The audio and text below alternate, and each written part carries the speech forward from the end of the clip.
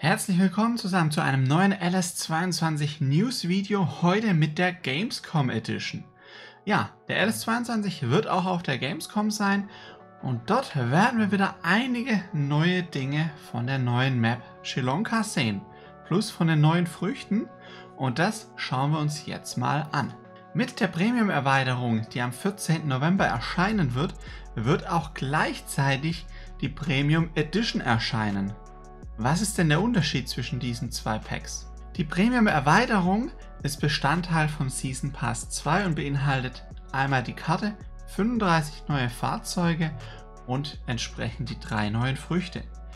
Die Premium Edition hingegen ist vor allem für diejenigen, die bisher noch gar kein LS gespielt haben, denn darin enthalten ist grundlegend mal der Farming Simulator 2022, Season Pass 1, Season Pass 2 und damit habt ihr 6 Karten, über 100 Fahrzeuge, 20 Früchte und halt entsprechend die ganzen einzelnen kleinen Packs. Kauft man das komplette Pack in einem, ja, dann spart man natürlich auch nochmal bares Geld im Vergleich dazu, wenn man es alles einzeln kauft. Hierfür gibt es auch einen speziellen Link, den packe ich euch einmal in die Videobeschreibung. Damit unterstützt ihr mich quasi. Kommen wir zu den neuen Bildern und dem Trailer. Ja, wir sehen hier von Dewolf den ganz großen Harvester ZKIVSE und wir sehen hier tatsächlich zum allerersten Mal die rote Beete, wie die hier geerntet werden. Vor allem hier im unteren Bereich an der Spitze des Harvesters sehen wir dann die rote Beete hängen, wie die da aus dem Boden gezogen werden mit dem Klemmbandförderer. Sehr, sehr genial. Äh, wenn wir uns die rote Beetepflanze auch ein bisschen anschauen, also wir sehen, die Blätter haben sie echt schön gemacht, so den typischen roten Strang in der Mitte mit den feinen Äderchen dann im Blatt und gleichzeitig sehen wir auch, okay, die ist schon reif. Wir haben tatsächlich einige braune Blätter damit drin, denn die Unterblätter, die wenig Sonne bekommen, die fangen langsam an dann bräunlich zu werden. Dann sehen wir einmal hier von Bettner den Corsa CN9000, die Sämaschine im Einsatz. Schaut soweit richtig schick aus. Sind jetzt zwar nur Bilder, aber trotzdem von dem, was wir sehen können, hier schon so ein bisschen Verschmutzungsgrad an der Walze, wie die Maschine gebaut wurde. Ja, Original Giants Qualität eben. Dann auch hier mal von Grimme die Dampffräse. Die GF800 macht direkt 8 Reihen, wo wir dann entsprechend unser Gemüse reinzählen können. Hm. Ich muss allerdings ein bisschen was kritisieren. Sieht zumindest auf dem Bild hier so aus. Vielleicht sieht es dann im Spiel tatsächlich auch besser aus. Aber vielleicht liegt es auch so ein bisschen am Ende der silbernen Hutzen hinten, dass wir da so noch eine kleine Erdanimation haben wo da so ein bisschen Erde noch aufgewirbelt wird, weil das sieht nicht ganz aus, als ob das perfekt aufsitzt, aber ansonsten trotzdem sehr, sehr schick und damit können wir quasi dann unsere Erddämme fräsen, um dann direkt anschließend mit der Querneland Mini Air Nova exakt auf den Hochpunkten der Dämme unser Gemüse zu säen. Egal ob Karotten, rote Beete, Pastinaken, geht alles mit dieser Maschine hier. Man sieht auch, der Saatguttank ist sehr, sehr klein. Auch ja, passend für die Früchte. Und am Traktor das Kennzeichen ZLK Shilonka. Sehe ich jetzt auch zum allerersten Mal. Von Samasche wird es ein Mähwerk geben, mit Schmetterling quasi, KDF 341S.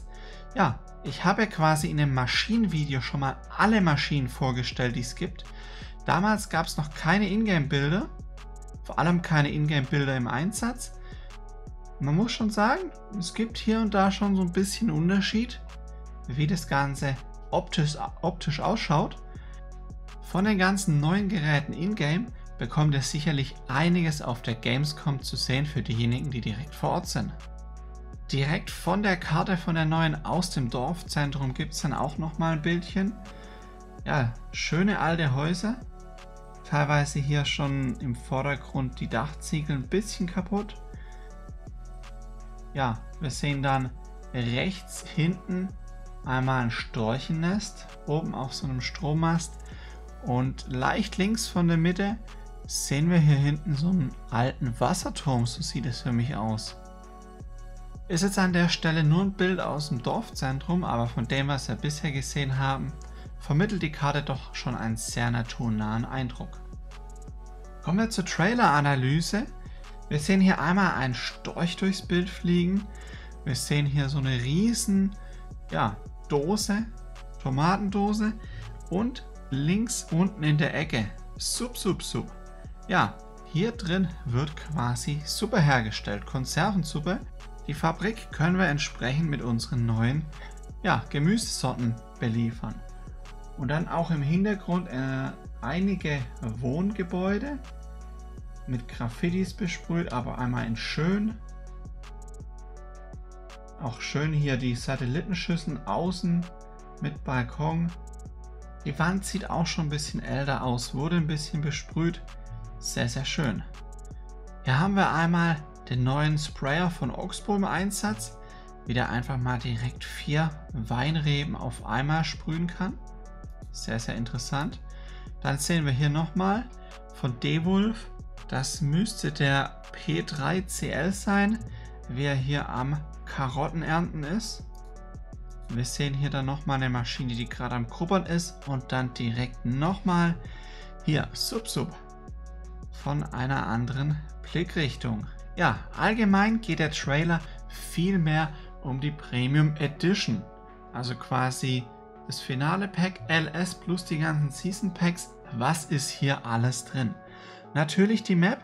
Auch hier mal wieder einen schönen Storch, der durchs Bild fliegt. Damit enthalten sind natürlich zwei Erweiterungen.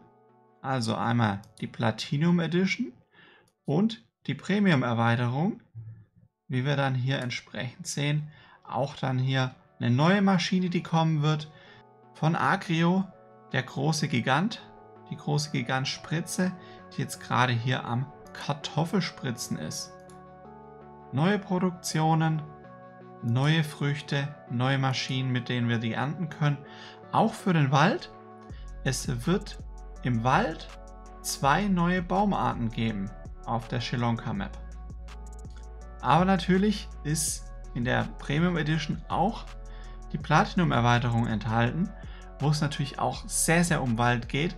Und auch hier gab es schon neue Bäume, wo man natürlich mit arbeiten kann. Insgesamt sind darin sieben einzelne Packs, die so im Laufe der letzten zwei Jahre erschienen sind. Jetzt kommt dann erst neu das Oxbow Pack kürzlich erschienen, Horsch Acrovation Pack da ist natürlich auch eine Karte mit dabei gewesen. Das Heu- und Silage-Pack. Das Göweil-Pack, was sehr, sehr genial war. Das Vermeer-Pack, Kubota-Pack mit dem Beifahrermodus. Antonio Carraro-Pack. Plus natürlich dann noch sechs Karten. Drei Original aus dem LS. Elm Creek, Oberlaurent, Erlengrad. Dann Silver Run Forest, die Horsch Acrovation Map und schlussendlich dann Shilonka. Damit hat man wirklich eine riesen Auswahl und kann sehr, sehr viel erleben. Und auch sehr vielfältig. Hunderte Maschinen, alle möglichen Arten, um ja, die ganzen neuen Früchte auf den ganzen neuen Karten zu beackern. Wer sich die Premium Edition holt oder zuvor die ganzen Season Passes geholt hat, der hat schlussendlich im LS dann 20 Früchte, die er anbauen kann.